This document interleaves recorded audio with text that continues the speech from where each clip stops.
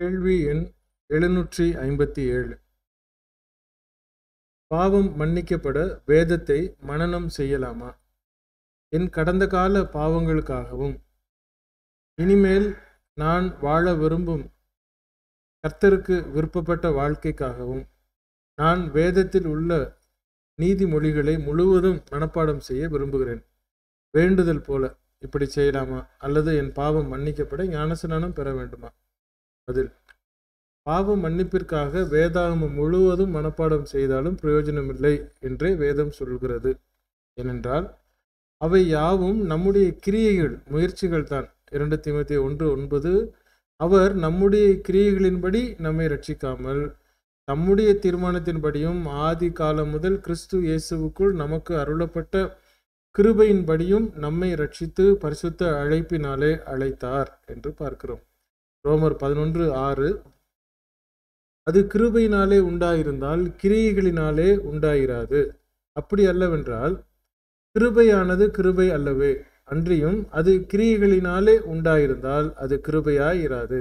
அப்படி அல்லவென்றால் கிரியையானது கிரியை அல்லவே. நாம் சொந்த முயற்சியினால் நம் சொந்த முயற்சியினால் பாவங்களை போக்கிக் கொள்ள முடிந்தால் பொய் சொல்லாமல் திருடாமல் நன்மையையே செய்து வாழும் அநேகர் பரலோகம் போய்விடலாம் என நினைப்பது போல் ஆகிவிடும். ஆயுட்காலம் முழுவதும் சம்பாதித்ததை கொடுத்தாலும் பரலோகத்தில் ஒரு அடி நிலம் கூட நம்மால் வாங்க முடியாது. கிறிஸ்தவ வியாபாரிகளையும் கிறிஸ்தவ பிசினஸ் முதலைகளையும் நம்பி அநேகர் எருசலேமிலும் சீனாய் மலையிலும் தனக்கும் தன் குடும்பத்தாருக்கும் இடம் வாங்கி கொண்டிருக்கிறார்கள். இயேசு கிறிஸ்து வரும்போது இந்த பூமியே அழிந்துவிடும் என்று வேதம் சொல்லியிருக்க. பரிதாபமே அவர்களுக்கும் அவர்கள் போதகருக்கும் மிஞ்சும் என்பதுதான் நிஜம். இரண்டு பேரும் மூன்று பத்தை வாசித்து பாருங்கள். உங்கள் பாவம் மன்னிக்கப்படுவதற்காக செய்ய வேண்டிய காரியத்தை வேதம் நமக்கு தெளிவான பதிலை கொடுத்திருக்கிறது. செய்ய வேண்டுவதாவது. ஒன்று கிறிஸ்துவின் போதனையை கேட்க வேண்டும். இரண்டு விசுவாசிக்க வேண்டும். மூன்று பாவத்தை விட்டு மனம் திரும்ப வேண்டும். நான்கு கிறிஸ்து தேவனுடைய குமாரன் என்று உங்கள் விசுவாசத்தை அறிக்கையிட வேண்டும். ஐந்து பாவ மன்னிப்பிற்கென்று ஞானஸ்நானம் பெற்றுக்கொள்ள வேண்டும். ஆதார வசனங்கள் மார்க் பதினாறு பதினாறு அப்போ சிலர் இரண்டு முப்பத்தி ஏழு முப்பத்தி எட்டு இருபத்தி ரெண்டாம் அதிகாரம் பதினாறாம் வசனம் மற்றும் ரோமர் ஆறாம் அதிகாரம் முதல் ஆறு வசனங்கள்.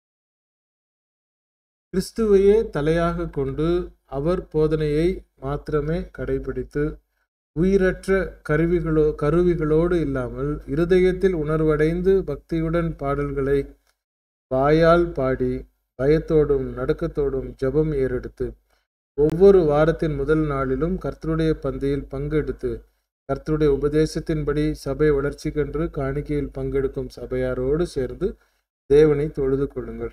முடிவு பரியந்தம். இந்த விசுவாசத்தில் நிலைத்திருந்தால் அப்போது கிறிஸ்துவின் வருகையில் நாம் ஒன்றாக பரலோகத்தில் ஒருவரை ஒருவர் காண முடியும். கர்த்தருடைய ஊழிய நெடி ஜோல் சில்சிபி கிறிஸ்துவின் சபை கன்னியாகுளம் தேவன் தாமே நம்மை தொடர்ந்து ஆசீர்வதிப்பாராக. ஆமென்.